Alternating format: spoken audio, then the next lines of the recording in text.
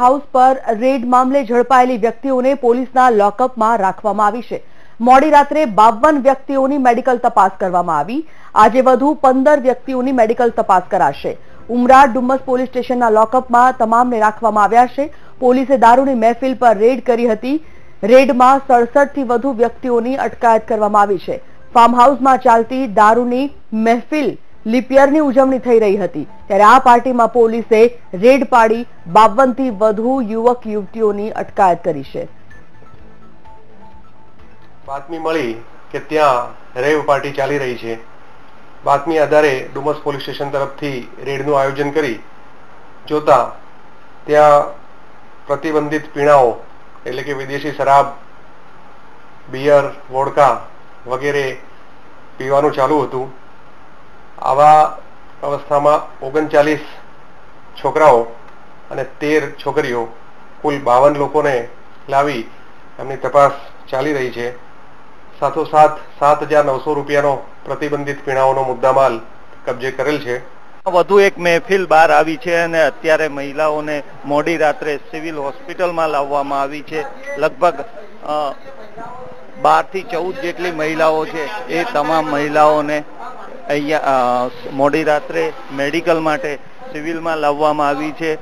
પોલીસે આશીર્વાદ ફાર્મ ડુમસ ખાતે એક રેડ કરી હતી અને તેમાં લગભગ પચાસથી વધુ લોકોની દારૂની મહેફિલ માણતા ઝડપી પાડ્યા છે. અત્યારે મોડી રાત્રે લગભગ બે અઢી વાગ્યાના સુમારે અહીંયા આ મહિલાઓ અને પુરુષોને લાવવામાં આવ્યા છે. હજુ પણ કેટલીક મહિલાઓ આ પોલીસની જે વાન છે એની અંદર બેઠી છે. બીજી તરફ આ જે મહિલાઓને અહીંયા લાવવામાં આવી છે, એ મહિલાઓના સગા સંબંધીઓ પણ અહીંયા મોટી સંખ્યામાં મોડી રાતે સિવિલ હોસ્પિટલમાં આવી ગયા છે. આ આ મહિલાઓને ની સાથે સાથે લગભગ પાંત્રીસથી ચાલીસ જેટલા પુરુષોની પણ અટકાયત દારૂની મહેફિલમાં કરવામાં આવી છે.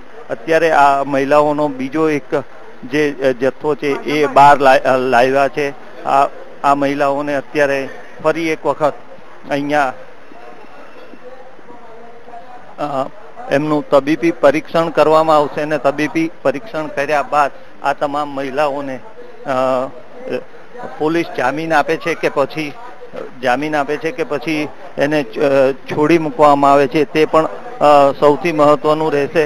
ખાસ કરીને આજે જે લીપ યર છે લીપ યર છે, એ લીપ યરને ની પાર્ટી અત્યારે કરવામાં આવી હતી અને સૌથી મહત્વનું છે કે આ જે પાર્ટી કરવામાં આવી હતી. ત્રણ વર્ષ પછી જે લીપ યર આવે છે, એની પાર્ટી હતી. તેની માહિતી પોલીસને મળી અને મોડી રાત્રે પોલીસે દરોડો પાડીને લગભગ બાવન જેટલી વ્યક્તિઓની અટકાયત કરી છે, દારૂની મહેફિલ માણતા અટકાયત કરી છે. કેમેરામેન દેવેશ સોલંકી સાથે શૈલેષ ત્રિવેદી, વીટીવી ન્યૂઝ સુરત.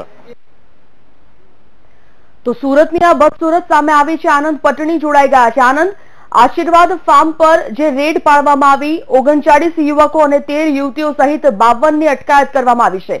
આજે જ્યારે મેડિકલ ચેકઅપ થઈ રહ્યું છે, શું બહાર આવી રહ્યું છે, કેવા પ્રકારની કાર્યવાહી ચાલી રહી છે, જાણીએ.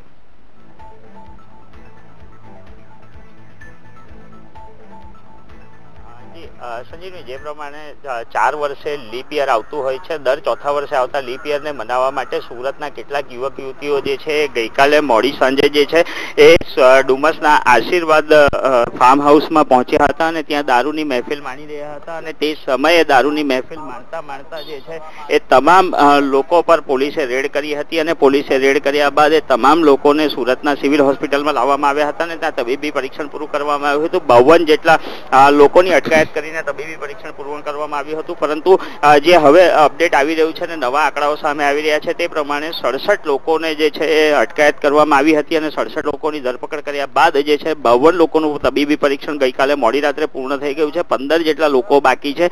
એ પંદર જેટલા લોકોનું તબીબી પરીક્ષણ આજે કરવામાં આવશે. હું જણાવી દઈશ કે ઉમરા પોલીસ સ્ટેશન ખાતે પણ કેટલાક લોકોને રાખવામાં આવ્યા છે અને તેમના વાલીઓ જે છે એ વાલીઓ પણ અત્યારે અહીંયા પહોંચ્યા છે. પોતાના બાળકોની જે છે એ તપાસ કરી રહ્યા છે અને તમામ તમામ બાળકોને છોડાવવા માટેના જે પ્રયત્ન છે, આ વાલીઓ કરી રહ્યા છે, એટલે અત્યારે કહી શકાય કે જે વાલીઓમાં પણ ઉચાટ દેખાઈ રહ્યો છે, પરંતુ પોલીસે જે કામગીરી કરી છે, એ ખરેખર સુંદર કામગીરી કરી છે અને ગઈકાલે જે રેવ પાર્ટી ચાલી રહી હતી, દારૂની મહેફિલ ચાલી રહી હતી, પોલીસને જ્યાં રેડ કરી છે, ત્યાંથી પંચોતેર જેટલી બિયરની બાટલીઓ અને ત્રણ જેટલી વોડકાની બાટલીઓ પણ મળી આવી છે, એટલે પોલીસે એ દારૂનો જથ્થો પણ સીઝ કરી લીધો છે અને સમગ્ર કાર્યવાહી જે છે, હાથ ધરી છે. હાલ આ તમામ લોકોને જે છે, અત્યારે ડુમસ અને ઉમરા એમ બે પોલીસ સ્ટેશનના લોકઅપમાં રાખવામાં આવ્યા છે અને તમામ લોકોના જ્યારે ચોવીસ કલાક થશે ત્યારે કોર્ટની અંદર રજૂ કરવામાં આવશે અને કોર્ટમાંથી જ એ લોકો, તમામ લોકોની જે છે જામીન પ્રક્રિયા હાથ ધરવામાં આવશે. અત્યારે જે કાર્યવાહી કરવામાં આવી રહી છે તે પોલીસ દ્વારા પંદર લોકોનું તબીબી પરીક્ષણ બાકી છે. તેના માટેની કાર્યવાહી હાલ હાથ ધરી દેવામાં આવી છે અને તમામ લોકોનું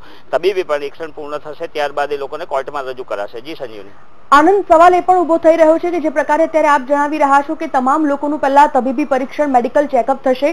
મેડિકલ ચેકઅપમાં જો પોઝિટિવ રિપોર્ટ આવશે કે હા, આ તમામે લોકોએ નશીલા પીણા પીધા છે, દારૂ પીધો છે, તો તેઓ પર કાર્યવાહી થશે.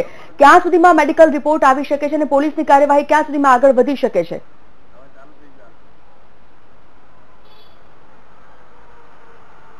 હા, જી સંજીવજી મોડી રાત્રેથી તમામ લોકોનું જે છે એ લોહી લેવાની શરૂઆત કરી દેવામાં આવી બ્લડ સેમ્પલ લઈ લેવામાં આવ્યા છે અને એ બ્લડ સેમ્પલના રિપોર્ટ જે છે ટૂંક સમયની અંદર એટલે કે બાર વાગ્યા પહેલાં આવી જશે. તમામ લોકોને જે કોર્ટમાં રજૂ કરવામાં આવશે તે પહેલાં તમામના મેડિકલ સેમ્પલ્સ જે છે લેવામાં આવ્યા છે, તેના રિપોર્ટ્સ આવી જશે અને રિપોર્ટ આવ્યા બાદ જે પ્રકારની કાર્યવાહી છે એ કરવામાં આવશે અને તમામ લોકોને જે છે એ કોર્ટમાં જજ સમક્ષ રજૂ કરવામાં આવશે અને ત્યારે જે છે એ લોકોના રિપોર્ટ પણ મૂકવામાં આવશે કે તમામ લોકોના બ્લડની અંદર આલ્કોહોલિક પોઝિટિવ છે અને આલ્કોહોલિક પોઝિટિવ આવશે, ત્યારબાદ આગળની કાર્યવાહી જે છે કરવામાં આવશે.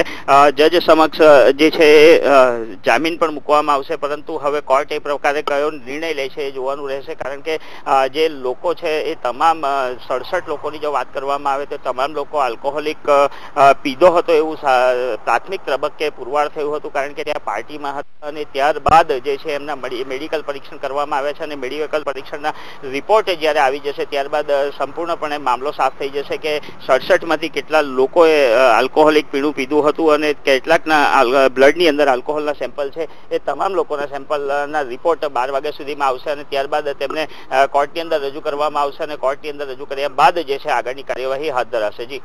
આનંદ, એક તરફ ગુજરાતમાં દારૂબંધીની જ્યારે વાતો થતી હોય અને ખુલ્લેઆમ આ પ્રકારે દારૂ પીવાતો હોય, આ કોઈ પહેલી ઘટના નથી. અવારનવાર આ શહેરમાં નહીં, પરંતુ સમગ્ર ગુજરાતમાં આવી ઘટનાઓ સામે આવતી રહે છે.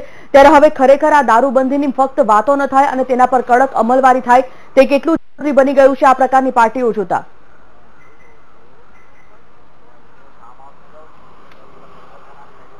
હા સજયની ખરેખર જો વાત કરવામાં આવે તો વિપક્ષ છાતી ઠોકી ઠોકીને કહી રહી છે કેટલાય વખતથી કે ગુજરાતની અંદર દારૂબંધી જે છે માત્ર કાગળ ઉપર છે. બાકી કશે દારૂબંધી હોય તેવું દેખાતું નથી. એટલે સ્પષ્ટપણે કહી શકાય કે છેલ્લા કેટલાય વખતથી સુરતના વિડીયોની વાત કરીએ તો સુરતની અંદર અનેક દારૂ પીતા, દારૂની મહેફિલો માણતા વીડિયો વાયરલ થયા છે. પોલીસે કાર્યવાહી પણ કરી છે.